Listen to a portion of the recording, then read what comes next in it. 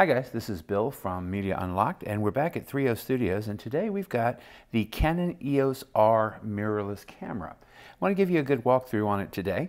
We're going to look at all of the features of the camera. We're going to talk about the kind of things that we leave on the default settings where we can change things and where you can customize this to be exactly the camera that you're looking for. So I want to start off by looking at the front of the camera today. Right here, this of course is the shutter button. Right over here, you've got the focus assist. This comes on in very low light focusing. Over here on the side, of course, this is where your lens release is. Lens release is just like any other Canon, just like that, and comes right out. Isn't the inside fun? Put it back together, looks just like that. Let's take a look at the lens for just a minute, since we're here. Lens stabilization, auto versus manual focus. But one thing I do want to point out, this lens has a lock feature right here.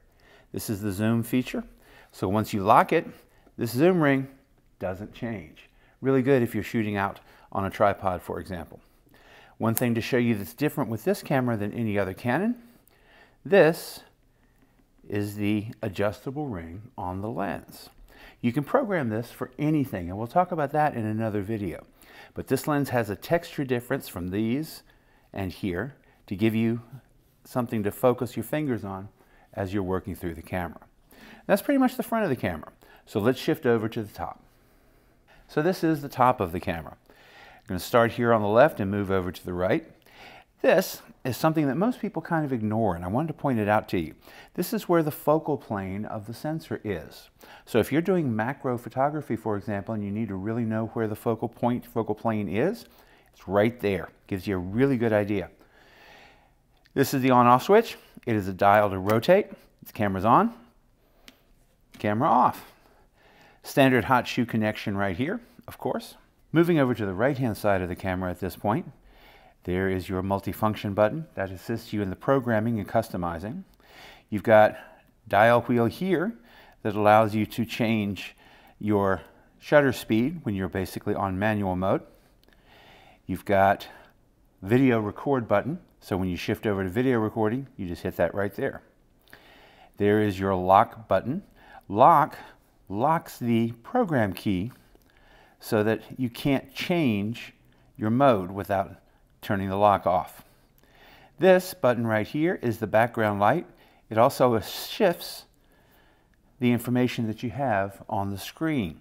This little screen is very useful to you. You can customize it to have exactly the features that you want to see so that when you look down at the top, it gives you only what you're looking for. It's easier to see. It's really a cool feature.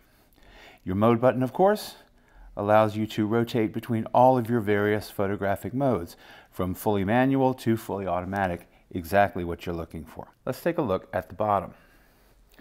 There's your tripod mount. When you buy a battery grip, this is where you'll plug it in at. This is your battery door.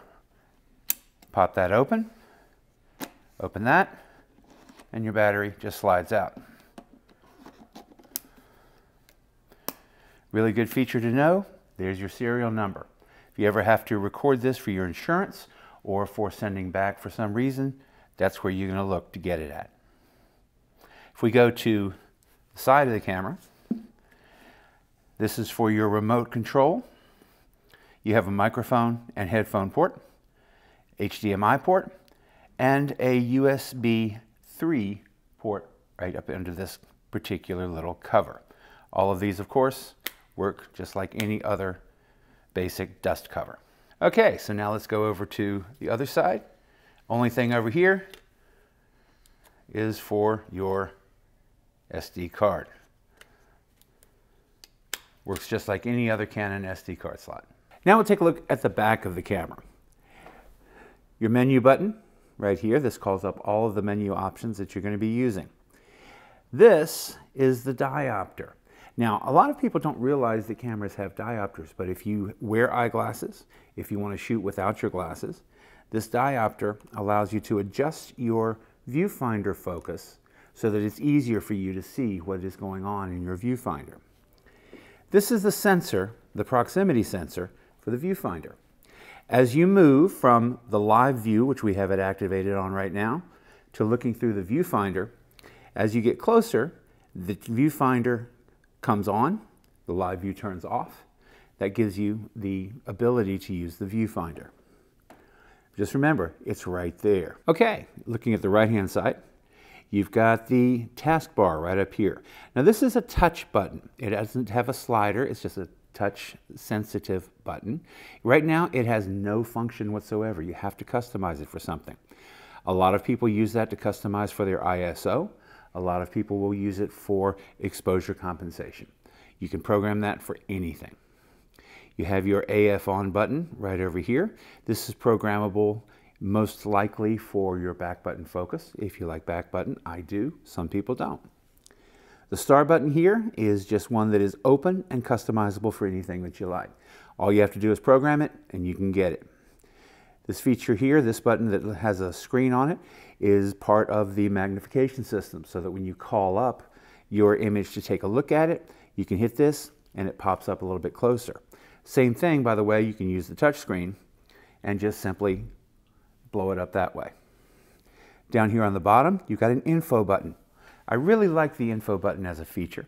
It basically activates the in-camera user's guide. As you go through the menu system, you'll find that some of the alternatives have an info. Just hit that button or hit the touch screen to call it up, and it will tell you what your options are and what they mean. Down here at the very bottom, you have two buttons side by side. The left one is for your playback. You hit that to call up the last image or the video. Your right button is the delete key. I never use that one because sometimes that can mess up your SD card. The Q set button here in the middle has, if you're shooting, you hit it and it gives you access to the quick menus. Basically, that activates the quick menus on the screen so that you can just touch them to change anything you're looking for. I find that most useful for the non-dial features, such as white balance or something like that. The area around the quick and set button is a joypad. Go left, up, down, or right. One other feature to discuss with the camera on the back is the fully articulating screen. I really like this. If you're a vlogger, if you just want to set the camera down or shoot over your head, it allows you to use the screen for live view. You can close it up just like that. You guys have made it this far. If you want to check out our newest video, it will be right here. If you want to check out the product, it will be down here.